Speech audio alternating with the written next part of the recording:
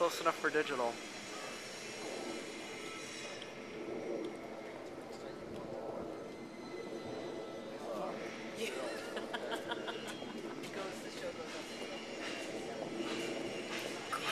It's the magic of movie making.